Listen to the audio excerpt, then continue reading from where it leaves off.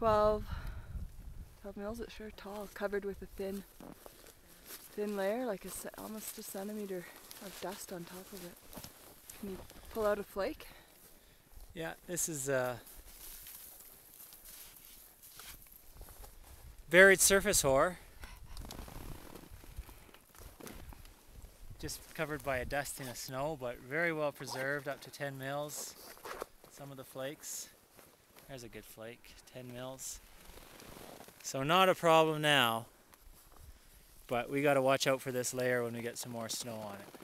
Probably will be a really weak bond between subsequent snowfall and this surface hoar layer.